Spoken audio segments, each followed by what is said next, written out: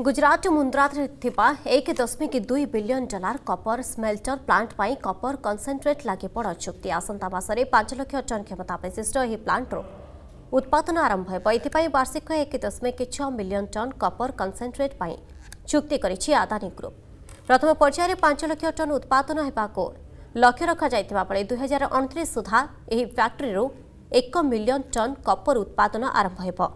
জোগণকারী সংস্থা কি সেনী আদানিক রূপপক্ষক কহা যায় নাই তebe হি চুক্তি ক্যুতর এবং দীর্ঘ অবধি বিশিষ্ট রইছে